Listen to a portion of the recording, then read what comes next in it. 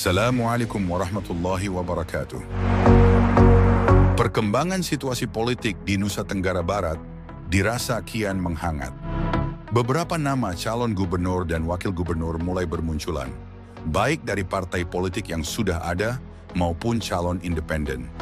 Persaingan ini menciptakan ketegangan dan ketertarikan di kalangan masyarakat sehingga munculnya empat poros pilihan yang dapat dipastikan akan berkontestasi dalam pemilihan cagup dan cawagup pada bulan November mendatang.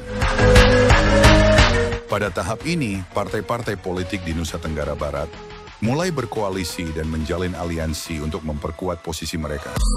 Ini menambah kompleksitas dalam peta politik di NTB, terutama dengan adanya perubahan dukungan dari basis pemilih.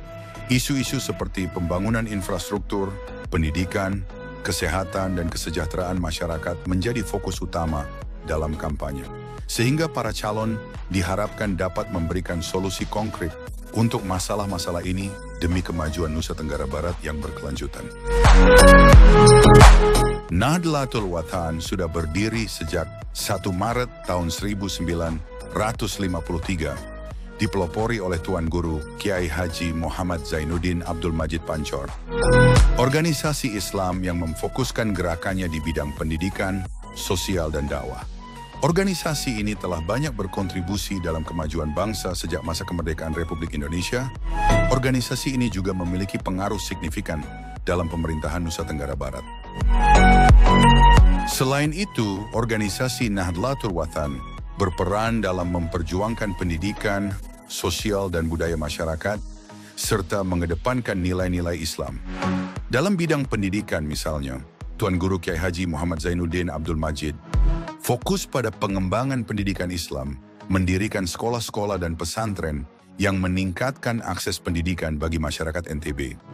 Di masa modern ini, baik organisasi NW dan organisasi NWDI telah berperan aktif dalam kegiatan-kegiatan pendidikan, politik, pemberdayaan sosial, serta kebudayaan. Sebagai organisasi terbesar di Nusa Tenggara Barat, tentu arah dukungan mereka begitu berarti bagi setiap calon yang akan berkontestasi, NW dan NWDI memiliki basis massa yang besar dan loyal di NTB.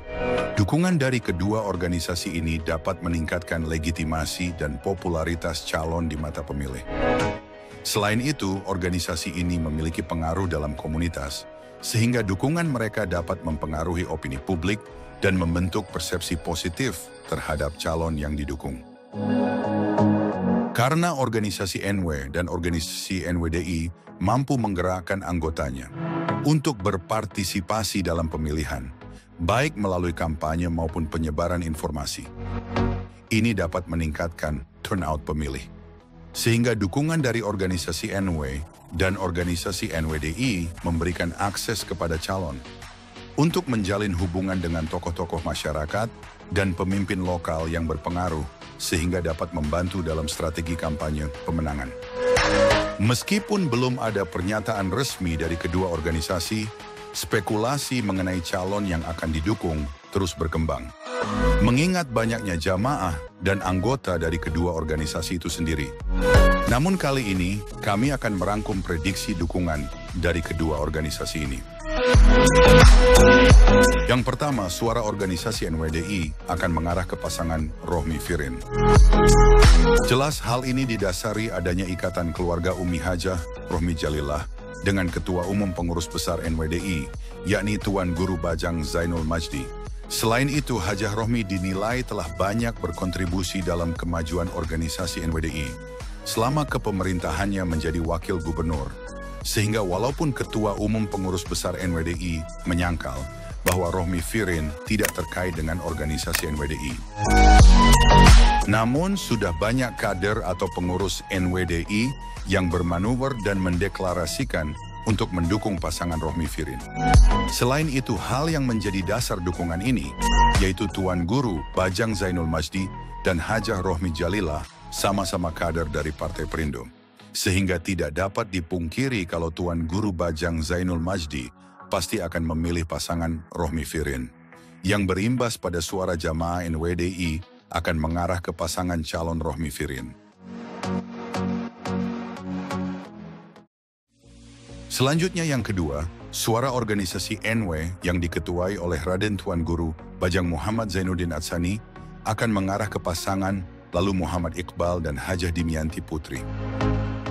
Hal yang menjadi dasar pernyataan ini adalah organisasi Nahdlatul Watan telah berafiliasi dengan Partai Gerindra. Setelah resminya Partai Gerindra mengusung pasangan lalu Muhammad Iqbal dan Hajah Dimianti Putri dalam pemilihan Cagup dan Cawagup Nusa Tenggara Barat tahun 2024, Hal ini telah mendapat persetujuan langsung oleh Presiden terpilih, yakni Bapak Prabowo Subianto. Ketua Umum Pengurus Besar Nahdlatul Wathan, Raden Tuan Guru Bajang Muhammad Zainuddin Atsani, yang juga tim penasehat pemenangan Prabowo Gibran, kemungkinan besar akan mengarahkan suara jamaahnya untuk ikut memenangkan pasangan lalu Muhammad Iqbal dan Hajah Dimianti Putri pada pilkada tahun ini. Namun prediksi ini masih bersifat spekulatif dan dapat berubah seiring dengan perkembangan politik, komunikasi antara calon dan organisasi, serta reaksi dari masyarakat. Banyak faktor lain yang juga bisa mempengaruhi keputusan akhir, seperti hasil survei, kampanye, dan isu-isu yang relevan saat pemilihan mendekat. Baik organisasi NW dan organisasi NWDI memiliki pengaruh besar pada kemajuan Nusa Tenggara Barat keterlibatan organisasi dalam hal politik. Dalam konteks demokrasi, pilihan politik bukan hanya hak individu, tetapi juga tanggung jawab kolektif. Baik NW dan NWDI berusaha memastikan bahwa pilihan yang diambil oleh anggotanya mencerminkan kepentingan dan kebutuhan umat Islam. Akhir kata, wassalamualaikum warahmatullahi wabarakatuh.